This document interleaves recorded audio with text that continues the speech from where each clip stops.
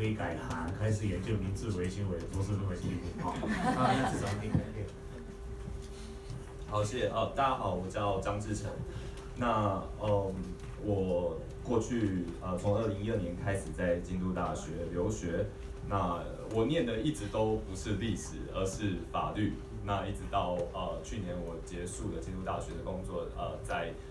美国的哈佛大学做了呃一年的客座研究，也是学法律。所以我今天其实跟在场的大部分的这个各位。呃，应该有同样的背景，也就是说，我们不是历史的专业，可是作为一个门外汉呢，怎么样来欣赏这本书？呃，我觉得非常重要。那我真的非常感谢，呃，还是要感谢川岛真老师和呃林成伟老师给我这个机会来参与这次的翻译的工作。那作为一个历史的门外汉，嗯，虽然我我自己认为我是一个呃日本的历史宅，我相信蛮多台湾人也都跟我一样是日本的历史宅。这也是我为什么要选择京都大学留学的原因，因为京都是一个一千四百年、哎一千六百年的这个日本的古都，所以，所以呢，你走，我过去就是说在留学过程中，每天走在京都呢，感觉就是走在那个大历史之中。那因为我是历史宅，很喜欢这个大和剧啊。很喜欢这些关于历史、日本历史的动漫啊、银魂啊这些，所以你每天都觉得说走在京都城内，你的小宇宙都一直爆发。比如说，我就每个礼拜都会去那个龙马被斩杀的那个 那个地方吃寿司，它现在是一家百元寿司、会馆寿司，可以推荐下次去。那还有就是什么，比如说新选组啊、池田屋这种地方，所以说京都其实是个很幸福的地方。就是说你满地都是历史，那在这样的环境下面，作为一个历史宅，然后嗯。进一步的能够有机会去接触一个真正的就是所谓日本历史研究这样的书，对我来说，呃，在交付的在在这个作为所谓的呃国族神话或者是说呃流行文化，把历史变成流行流行文化的一部分的这样的一个熏陶下，在交互去看真正呃一个所谓日本的权威的历史学者怎么去看。日本的历史，我觉得这这本书它是一个，呃，我相信它是一个非常非常好的入门书。就像林老师讲的，你不可能找到在日本有一本短短两百页的这样一本这么精简的书，然后你就可以去呃快速的去了解从过去一百五十年来所谓的幕末也好，明治维新，一直到今天这个日本作为一个对台湾非常重要的一个呃周边的邻近的国家，这样的一个一百呃将近一一个半世纪的这个大历史。那我觉得，呃，这是一本非常好、非常好的媒介作为入门。所以，就是如果大家跟我一样很喜欢去日本玩呢，我相信大家应该大家都很喜欢去日本玩吧？因为去年，呃，台湾人访日的数字是我记得是四百六十万人次，也就是说六分之一的日本，呃，简单说就是六分之一的台湾人去年去过日本，所以应该。我相信这边在场的大家应该半数以上应该，去年呃今年呃去年一整年有去过日本的，请举手一下。所以这边的 去了十次，就增加平均数也有可能，对不对？我去过的话，就大家不太敢举手。你应该说去过五六次的人，那就很多人会。啊，对对对，可能对。大家都太客气了，因为其实我在别呃其他的场次有类似的这种座谈的时候，我都说去年去过日本玩的举手，几乎大概真的就是八成九成以上举手这样。对，所以我相信台日关系非常的接近，那大家必须要更了解日本，从就是说单纯的台湾人喜欢日本，喜欢日本的文化，喜欢的日本的历史，到呃变成一个真正的所谓的知日家，因为日本跟台湾的关系非常非常的重要。那我相信。更深层的去透过这本书去了解今天的日本是怎么样的形成。日本它在作为这个呃亚洲这个所谓大陆的亚洲和海洋的亚洲的这个这个所谓的呃中间地带一个地缘政治的 hub 的这样的一个呃角色，他怎么样去呃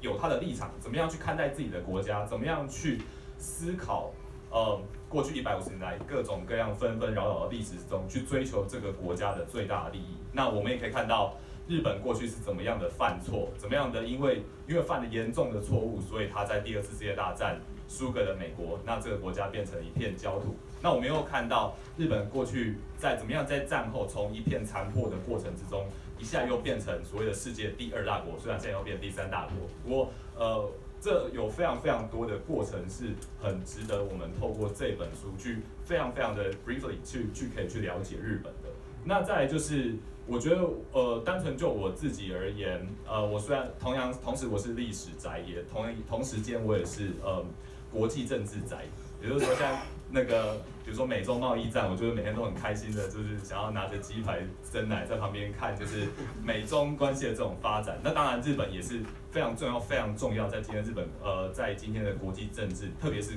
对于台湾而言，日本的角色非常非常重要。那我们谈到国际政治的时候，嗯，一般人通通常是所谓的就是雾里看花，大家每天看着这个国际的新闻不断的上演啊，包括日本，我们就常常讲到说，呃，日本最近好像又要修宪，好像又有很多人担心日本是不是要变成军国主义的国家，这个可能是台湾的媒体就是呃谈话性节目很常在在周而复始的讲这个话题，不然就是说哦，比如说最近这个日本的一艘所谓的护卫舰很大的这种直升机护卫舰叫出云号，最近是不是要改装甲板，让它变成一个航空母舰？那这个航空母舰的存在到底为什么会跟日本今天的这个这个国家的状态有这么大的抵触？因为日本宪法它是一个所谓的放弃战争的宪法，日本不能拥有这种攻击性的武力，日本只能拥有所谓的自卫队。那这些东西其实我觉得都必须要透过一本非常入门的书去了解日本过去一百五十年来，呃，特别是所谓的战后，因为战后是我负责的部分，在战后你是是怎么样形成呃今天日本这个国家的样子的？那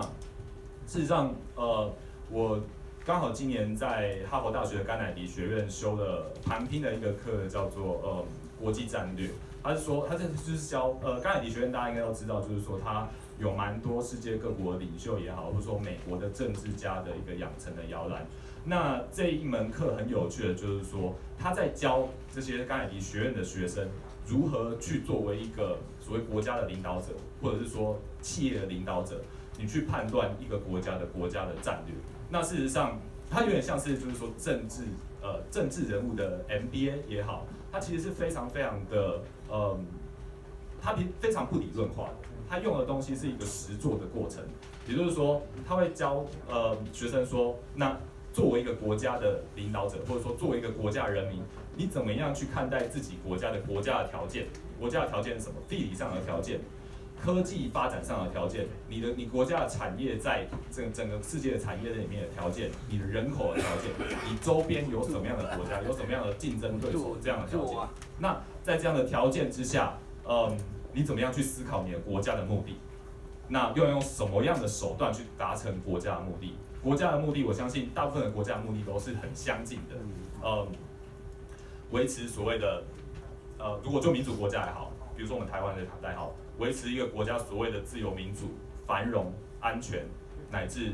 所谓的独立。这个独立当然并不一定要并并不一定像是呃政治上的 declare independence，不一定是宣告独立，而是经济上的独立也好，实质上的政治政治独立也好，在追求这样的国家的目的的过程之中，你有各式各样必须要去考虑的因素。那这些因素事实上在千百年来呃不会变化很大。所以我们可以不断的去透过历史这面镜子去照射自己。那这本书很有趣的是，我觉得呃，从幕末的明治国，从幕末一直进入明治维新，那从明治维新又进入一个呃扩张主义的过程，最后在太平洋战争失去了呃日本的国家地位，那变成一片废土。那又从这个过程重新去面对国家的复兴。那在短短的几十年内。呃，透透过了高度成长期以后，又成为今天一个非常了不起的呃近代国家。那这样的过程之中，其实我觉得可以，嗯，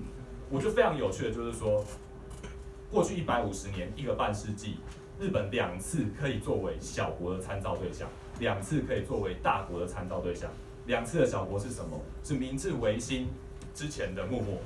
当时的情况，它其实跟现在台湾蛮像的，就是说。面对整个世界大局势的变革之中，各种各样的这个所谓的西方欧美国家想要在这个亚洲的局势之中拥有决定性的主宰地位，那你一个呃夹在这个帝国的夹缝之中的这个前近代的农业的手工业的小国，它怎么样在这样一个局势之中去迈进成为一个明治国家？它怎么样在这个国际关系的这个呃